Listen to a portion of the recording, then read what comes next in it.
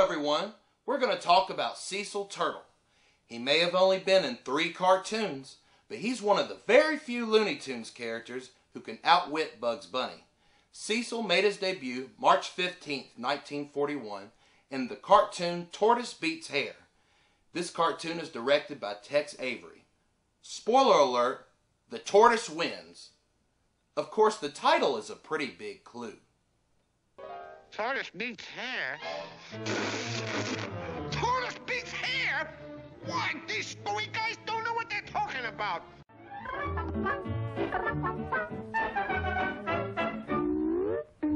Tex Avery had been working for Warner Brothers since 1935. Less than a month after the premiere of Tortoise Beats Hare in 1941, Tex Avery and producer Leon Schlesinger had a disagreement. The producer did not approve of Avery's ending to the heckling hare.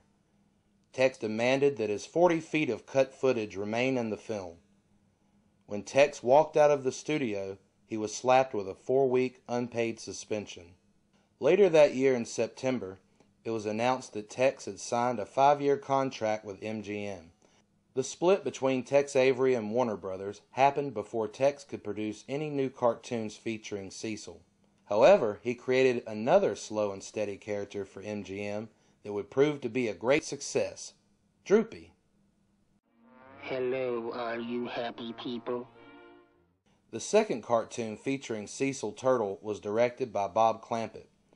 Tortoise Wins by a Hare was released February 20th, 1943. One for the money, two for the show, three to make like ready, and four to go!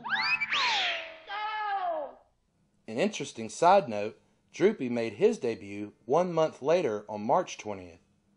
Is this a coincidence? Or did Tex decide to make this cartoon in response to Warner Brothers making use of his character Cecil Turtle?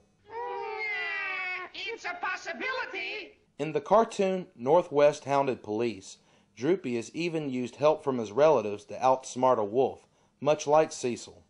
Droopy takes several traits from his predecessor Cecil, from his cleverness to his calm demeanor. We do this kind of stuff to him all through the picture. I surprise him like this all through the picture. The final matchup was in 1947 in the cartoon Rabbit Transit, directed by Friz Freleng. It's great to see how Tex Avery, Bob Clampett, and Friz Freleng all handled this classic fable. All three cartoons can be found in the Looney Tunes Golden Collection. Tortoise Wins by Hare can be found uncensored on the Looney Tunes Golden Collection Volume 1. Tortoise Beats Hare and Rabbit Transit can be found on Volume 2. Cecil has made numerous cameos since the 40s. In the 90s, he was seen briefly in Space Jam. On Animaniacs and Sylvester and Tweety Mysteries, he's seen as a villain. He's been featured on season 2 of the Looney Tunes show, appearing in the episode Customer Service in 2012 and later appearing in The Shell Game in 2013. Most recently, Cecil has appeared in Looney Tunes Rabbit's Run, a 2015 straight to DVD movie. I think it's safe to say Cecil hasn't made his last appearance. Cecil is the only Looney Tunes character to beat Bugs Bunny three times in a row. One mystery remains. Since Cecil is a tortoise, why is his name Cecil Turtle?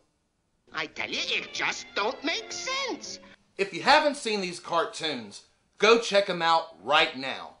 And if you enjoyed this video, you might also like to see the 80th anniversary special for Porky Pig or the 60th anniversary special for Michigan J. Frog. Recently, I uploaded some time-lapse drawing videos with Cecil Turtle and Bugs Bunny. Be sure to subscribe because there's going to be all kinds of fun new videos and I'd hate for you to miss any of it. Until next time, see you soon.